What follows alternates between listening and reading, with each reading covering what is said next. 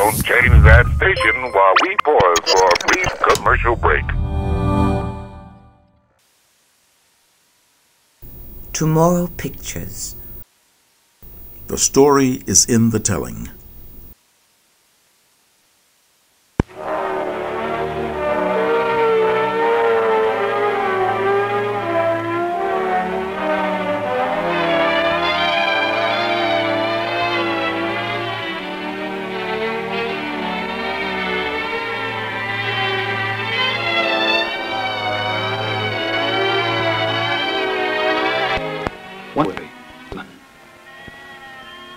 The poet of democracy.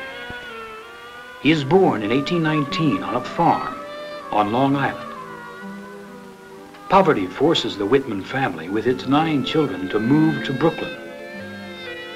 At the age of 11, young Walt leaves school to work as an office boy, a printer's devil, and finally as a printer. Despite his lack of schooling, 17-year-old Walt becomes a teacher in 1835. Three years later, he gives up teaching, spending the next nine years as a newspaper writer. And at 27, is the editor of the Brooklyn Daily Eagle, an unusual position for a man so young. He becomes well known in New York City as a dashing man about town. In 1848, he accepts a job on a New Orleans newspaper and with his brother, Jeff, travels south from New York.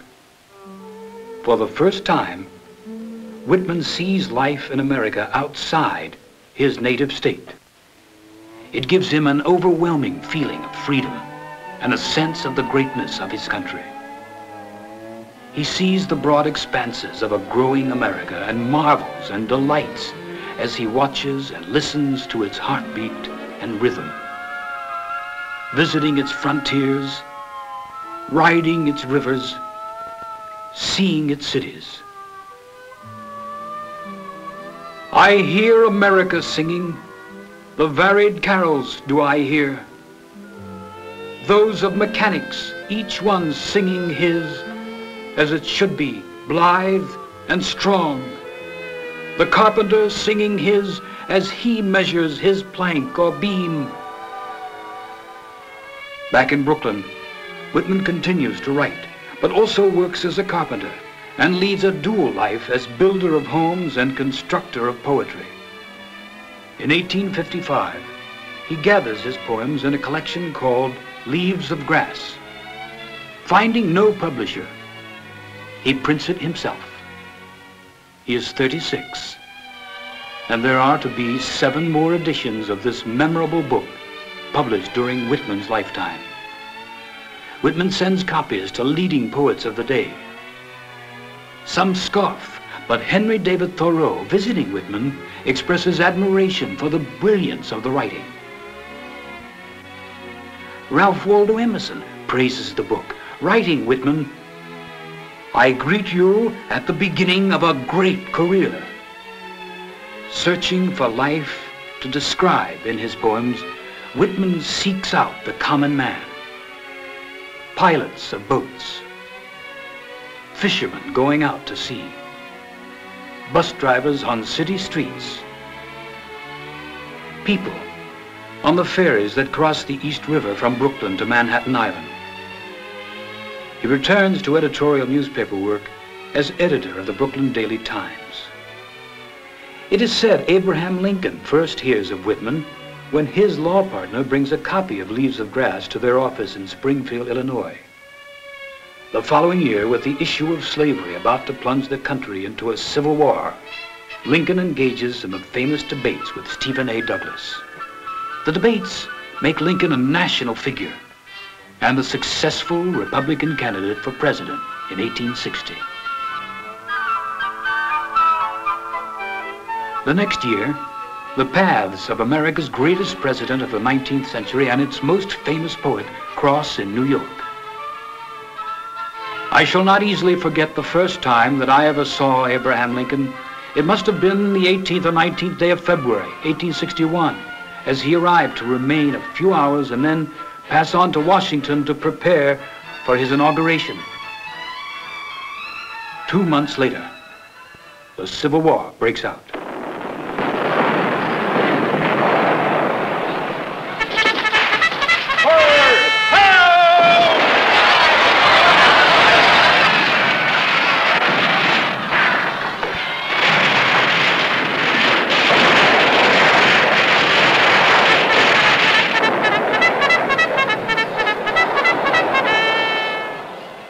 Whitman's brother George is wounded in the Battle of Fredericksburg in late 1862. Whitman leaves Brooklyn to find his brother in Virginia.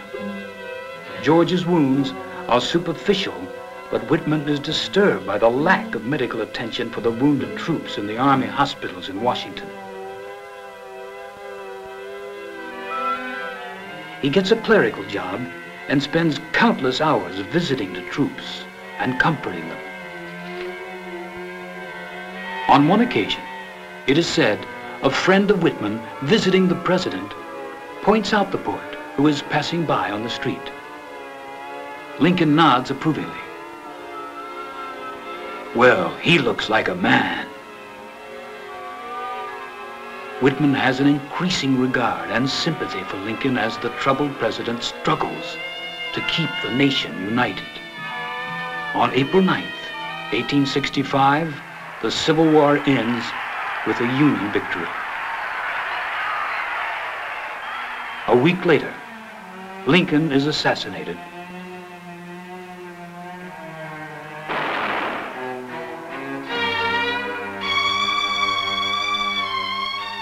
The whole nation grieves, but none more than Whitman.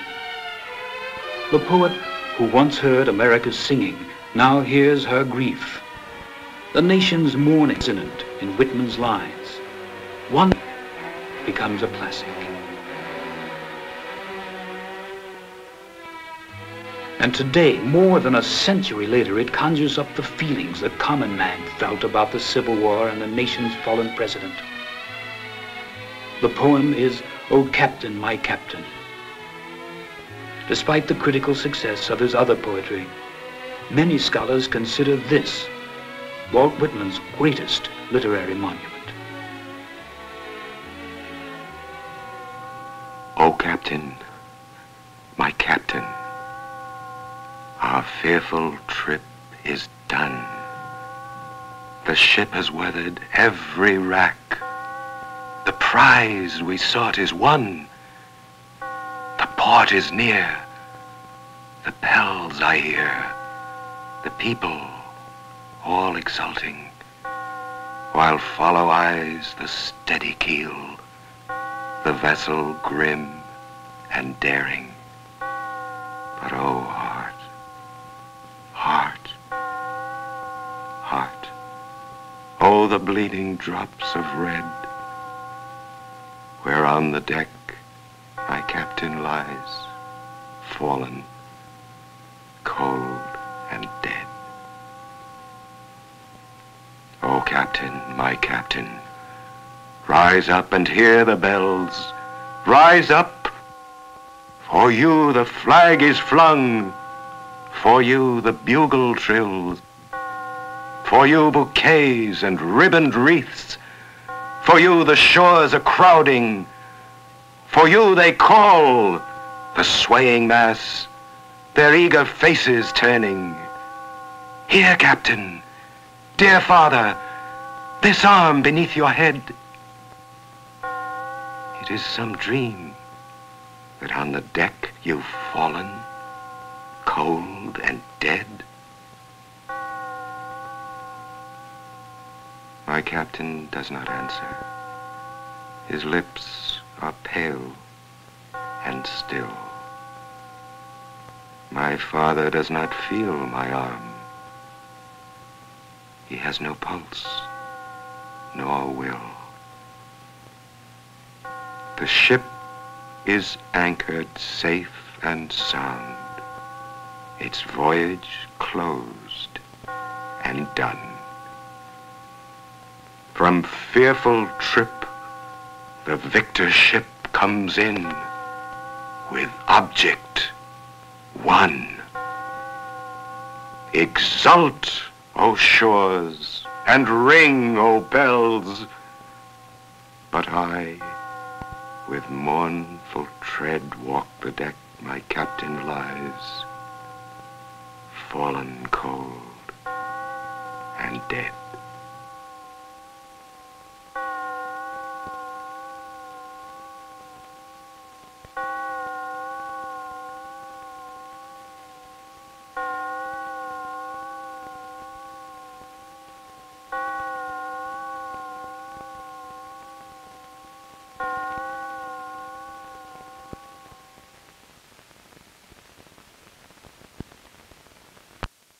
This is Tomorrow Pictures TV. Götsken, ot, tsink toggen er punt, og skno, so, skebupeknut gnum, kvart no no no betspet glam lagul tolgli om nun und at chato of nun pum